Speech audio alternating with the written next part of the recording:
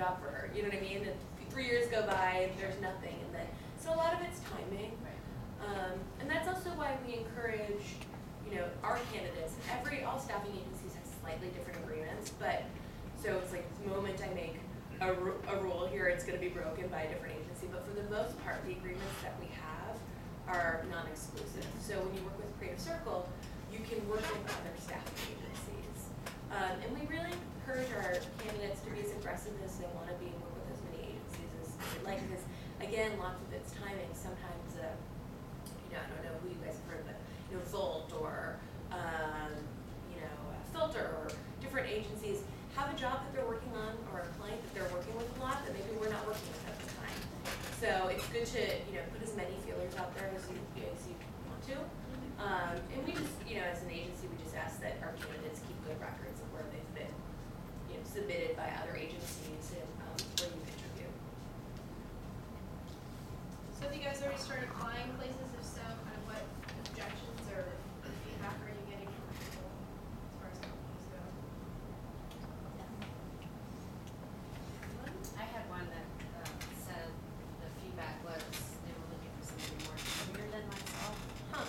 I have Hold on, one say that again, Kristen, That I, they were looking for somebody more junior, more junior. so, you know, I'm like, oh, is that age discrimination, or, you know what I mean, like, or am I asking for too much money, or? Right. Because I've been in the industry over twenty years. Right. So I have a, a serious amount of experience here. It's- Right. I'm not starting from scratch. Um, I did come back to Cascadia to do the web development, um, deal with Brian a year ago. Um, but I'm a print designer, but, I mean, that's Right. my background, so, um, anyway, so I thought that was really interesting, like, Yeah. I'm like, oh, they're looking for somebody more junior, yet when I had talked to this recruiter, they were like, oh, you sound like a perfect fit, so it's really difficult to like understand Mm-hmm. what people tell you and what's reality, like, Sure. 'cause you wanna be like, yeah, I'm a perfect fit, and then it's like, oh, you're too Yeah. experienced, but it's. And that's a constant struggle for, for me too, I mean, Yeah. from the recruiting side, cause we get the job description, we talk with the client, what are you looking for, okay, and then go out and look for people, find the, you know, what we think is a perfect fit, I mean, it's happened to me just this morning too. Yeah. Um, and then it gets to the client and they're like, well, I actually want somebody that's more at this level, or I want somebody that's more of a writer rather than a designer. Well, that's not what you said initially, Right. so, I mean, it's the ebb and, the ebb, the ebb and the flow. I mean, they might have started looking out for somebody with, with your background, Right. and then kind of after reevaluating things and seeing the type of people they were getting, they're like, well, actually, somebody more junior that we can kind of mentor and mold into the position. Yeah, I'm like thinking less money is what they It could want, be you that. know? Did you guys top money? What? Was there money involved in it, or did they just see your resume, do you think it's on? oh, she's gonna be too expensive? Oh, we talked about money, I mean, like, what is your raise? Mhm. Right. And I gave them a range, and they're like, oh, that seems, you know, like that would be within their range, Yeah. Right. And it, so. and when we get a job, we always talk about, the, with the client about money, um, what sort of, you know, rate range are you working in right now, what sort of, you know, price do you wanna see people at? Yeah. Um, sometimes they, they give us that dollar range, um, sometimes it's, you know, I wanna see people at twenty-five to thirty an hour, I wanna see people anywhere from twenty-five to forty-five an hour. Okay, well, you're opening yourself up to a wide variety of candidates, or sometimes they say, I don't know, just send me who you think would be good for this. But sometimes the person that wants forty-five dollars an hour would be willing to work a job for twenty-five dollars Yeah. an hour. I Mhm. guess that's part of the, you know, like, And we're seeing it that a lot in this economy, and it's a really hard one to, to come back from. It's a fight that I fight constantly, because they don't want, I think our clients are afraid that if you put a more senior person in a junior role, they're gonna fail at the, at the next opportunity, great opportunity that they get. So, which is silly, um, but it's also kind of why we can be helpful too right? we can have those conversations with them and say, no, she's in a really unique position right now. Um, I have a candidate myself that's been, um, a, like a V, uh, a VP title. She just moved here from Chicago. She's looking for something with a more work-life balance. So she's wanting to step down. But it's been hard to come back from that VP title. And we've had those conversations, but, you know, even though we know that you'd be great for it, sometimes the client's just not willing to go there, which is Yeah. tough. And I mean, it's, we we definitely work a lot as a team to, to package things in the way that's gonna make the most sense for that particular client. I mean, that is one thing to keep in mind when we are, you know, at least with us, when we're presenting a candidate to a job, we definitely, we're, we're doing everything to put our best and their best foot forward, given the job description that we have. Um, and also what's good is it's not just a random, we're playing Craigslist where, right, you know, you don't get anything back or you don't hear anything or don't know what an objection even is. Um, you know, we are really, when we send a candidate, you know, we're, we're fighting for them and, and we're pushing back, you know, when we can. Um, so there's definitely more of a, a back and forth conversation, trying to get feedback, making a case for someone. And, um, but it definitely does happen. I mean, we get jobs where we think we know, signed, sealed, delivered, we know exactly what the client wants. We know the rate, we know exactly the skills. We send two, three candidates, you know, it's toss up who would be the best. It's like we're excited about all of them. And then we get feedback that like it's out of left field, you know? And we're starting from scratch too. And one thing, especially with working with recruiters and, you know, definitely with us, but with all of them, one thing to keep in mind as a candidate is it's just as frustrating for us as candidates at the time, you know? Um, so we definitely feel it too, because we wanna get the people, you know, the person that we thought was perfect for something, that job, you know? Yeah, it kind of raises questions of fifty levels of kind of jobs that you do place and do you find most of your jobs are like uh, kind of freelance jobs where if you looking for one candidate who has a, a level of, of expertise that can completely do the entire job themselves? Or you sometimes get jobs that have like a multi-level skills that you have to place two or three different people on different levels, some beginner skills and s- some more advanced skills. You, you find you, most of your jobs are kind of like, like, you know, you have to find someone who has skills who can do everything? That's, that's a really good question, and we get it both ways. Um, sometimes we start off with somebody that wants, you know, that full package, which ends up being like a needle in a. Um, so then what we kind of do is, we- as we look at the description, um, see if we can find that person initially that has that full skill set, and then if, if we can't, we do try to, you know, piece people together, match them up as teams, send somebody that's really strong at back-end development, followed up with somebody that's really strong at front-end development. So by hiring, you know, those two people, they can work together to do the project, but it's not an all in, in one sort of thing. Yeah, that raises that second part of the question Yeah. would be that too. We, in our, our web development class, kind of have to have, kind of develop teams that they, they actually learn together. Yeah. And so that, we found that the, the dynamics of them sometimes, you know, as, a- as a working teams, Mhm. some have higher, better skills in terms of like design, other ones Mhm. are, are are graphic design, some are, are, are better programmers or, you know, coders. Yeah. But they, we found that several people can work really well together. Mhm. Do you ever consider like, you know, Representing a team. Representing a team applying for a job? We do it sometimes. Um, it's not as frequent as the individual roles. Usually, for, for at least freelance stuff or project work, usually a client is coming to us because they're in the weeds and they need someone to do an HTML email or, you know what I mean? So it's Yeah. very targeted. Um, so for the most part, we look for individuals. Now, that being said, that information when we register someone to, you know, I've done, I've done interviews where I register two people at once, you know what I mean? And, Yeah. and let them know that I'm gonna be calling them about individual jobs, but it's nice to know what they worked on together, what their roles were. So if we get an opportunity, um, where we could pitch them as a team, it's nice to be able to make that, make that case essentially. Um, but the times it's most successful is when the people that are coming in as a team or as a group understand and are okay with the fact that we call them about individual gigs. Um, but know that there might be that sort of perfect storm where we've got something that they're needed for. And then we also have things where, you know, we placed a candidate on um, a freelance gig. He's a, a flash guy. Um, and he'd been doing, you know, just sort of piecemeal work here and there for this client. And then a big project came in, um, and he needed help. You know what I mean? So that's what, and he needed to create a team.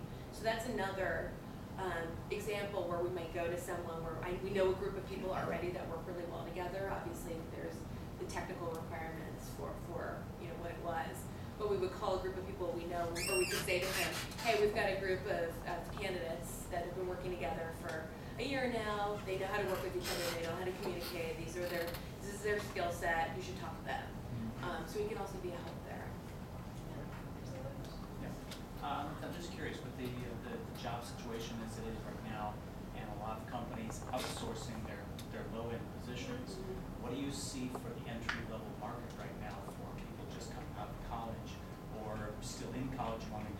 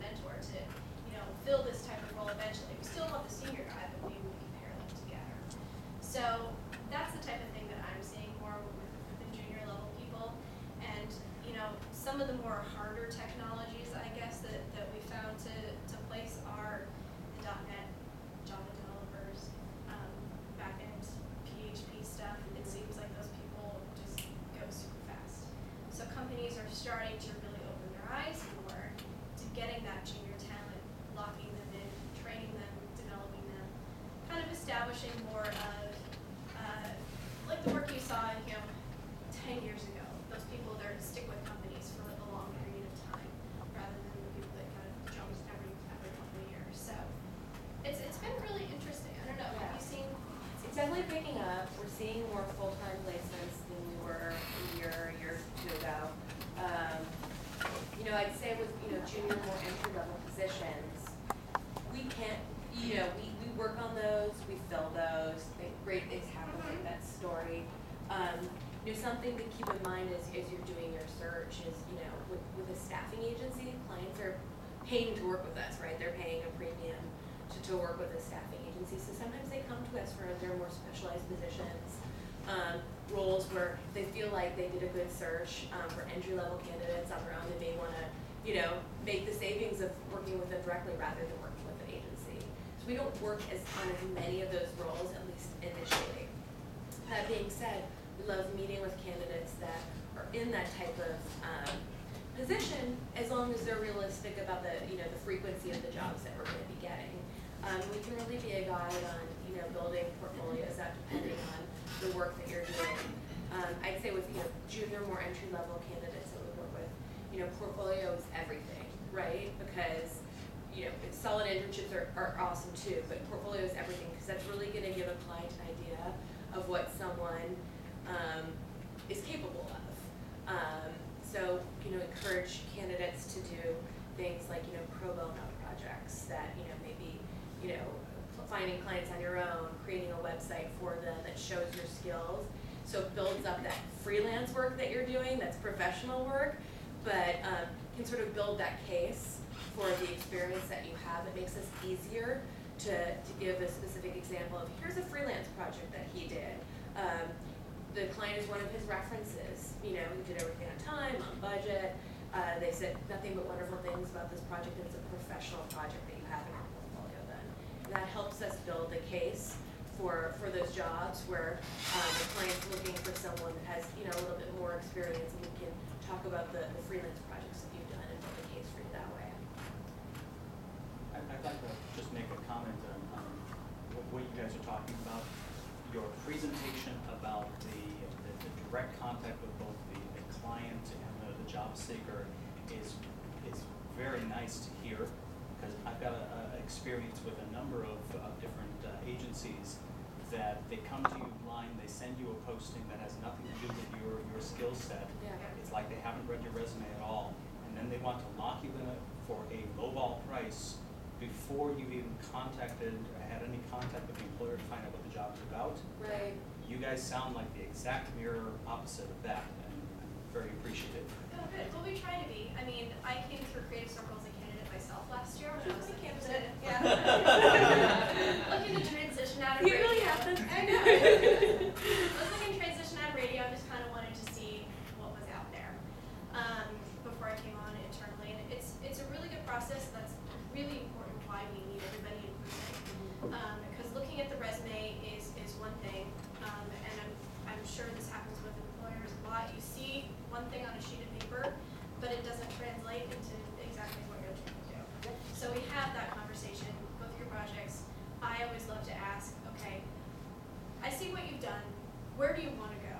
What sort of opportunities do you want to get into? Yes, you can work with all these different languages and technologies. Which ones are your favorite? Um, and then we can kind of focus the job search more on that thing. As far as the blind pitching goes, that's super frustrating. So even whenever we have a job, we always call people and talk about it first. Um, like if, if I have a, even something that might be kind of a little bit out of your skill set, um, or a little bit lower than the price you're willing to make, we'll always have a conversation about it first. I'll say, you know, hey, I know you're, you're, you know, you love the back end development. This one's kind of a front end, back end combo. Here's a little bit more about the job. Here's the contract length. What do you think? Are you doing anything right now? Is this a project you want to jump on? Okay.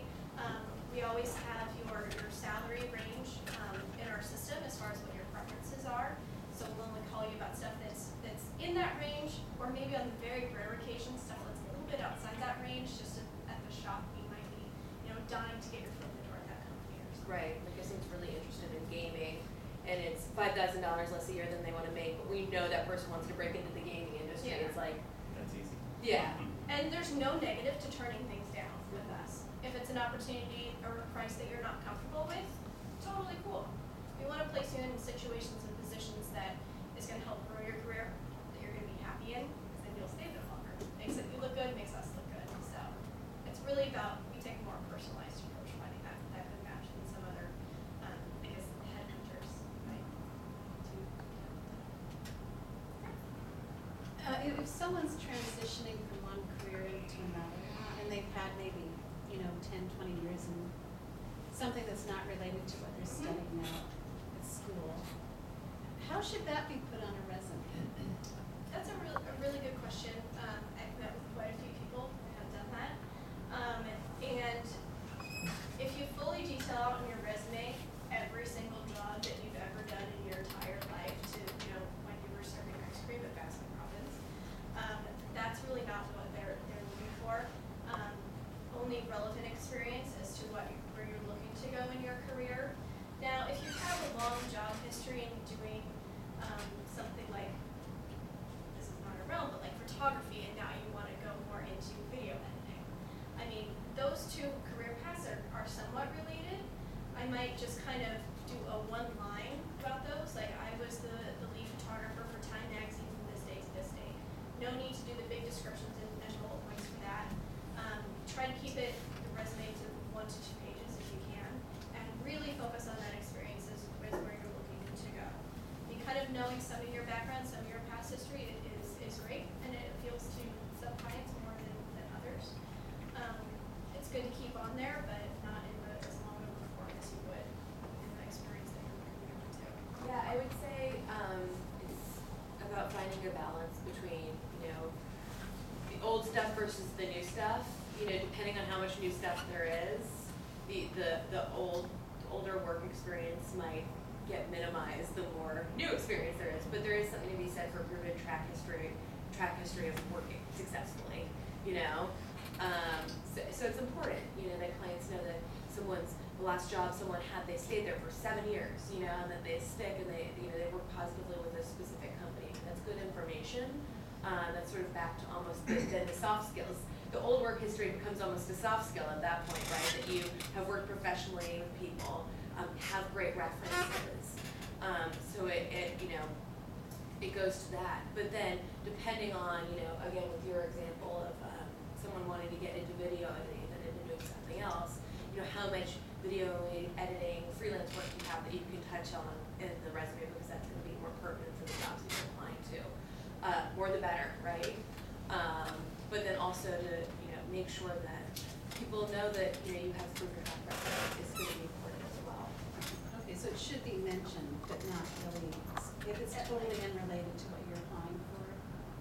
You know, I mean, it, I guess what I'm saying is a lot of students are going back, you know, they're, they're changing, they've been forced for, for whatever reasons to find new careers.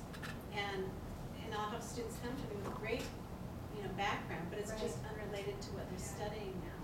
So, you know, I think it's good to keep it on there, because you don't wanna Yeah. totally negate all of that time and effort and energy that you put into those positions. but maybe mention that you're, you're Yeah. making this transition Yeah, and. I think that's, that would be a great thing. for- I'm not a huge like objective person for resumes.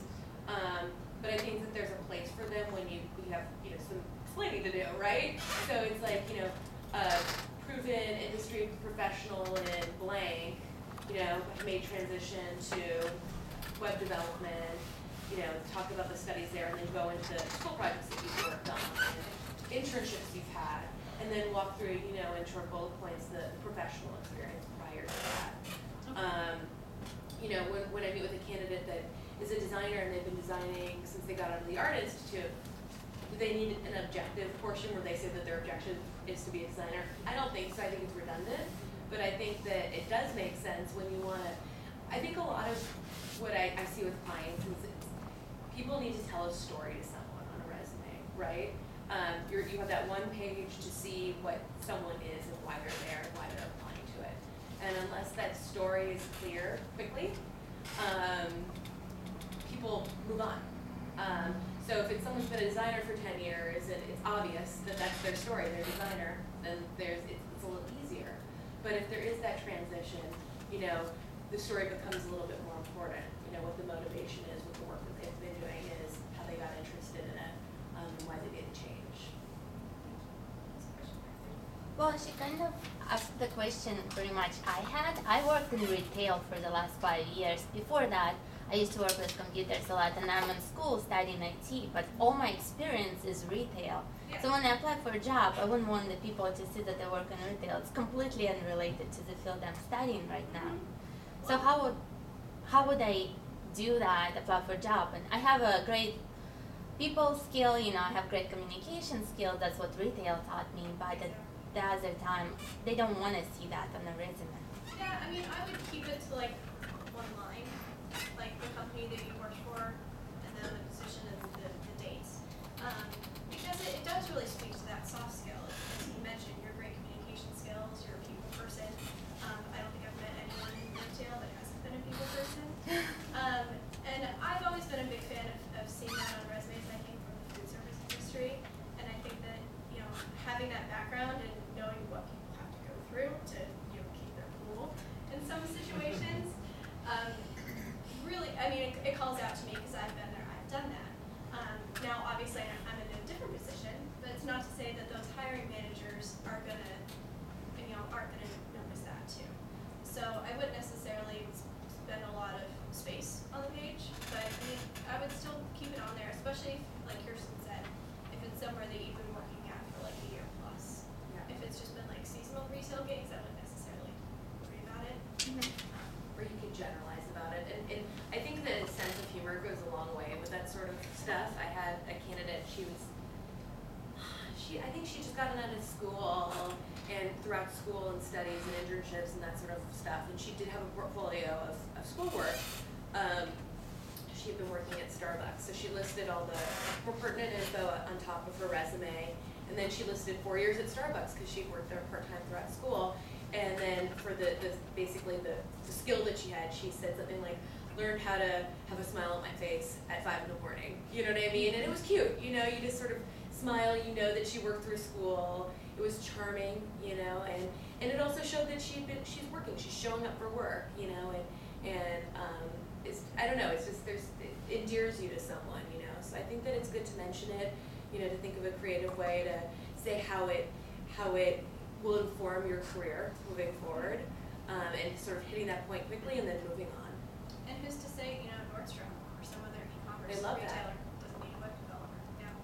So having that, that background helps too. Like, Um, I was just curious what, uh, what technologies, uh, stick in your mind as being most requested for web design out of, uh, Drupal, Joomla, and WordPress? We get Drupal. Drupal, is that the one Drupal, that's the yeah. Drupal, question and we get them all, but Drupal is like the, when we get a Drupal job, we're like, oh, you know what I mean? Cause it's hard to find people that have work experience and the That are customized Drupal, yeah, that are available. Um, yeah, Drupal we get a lot of. especially Drupal seven, um, six and seven, we're seeing requests for that now too. Um, but yeah, out of all of the, the CMS platforms, Drupal, Expression Engine even too, sometimes. For what? Expression Engine, Okay. sometimes as well. Um, as We far have as, Sitecore too, which is really hard to find people that have done that. Sitecore, Never heard of it. yeah. I know.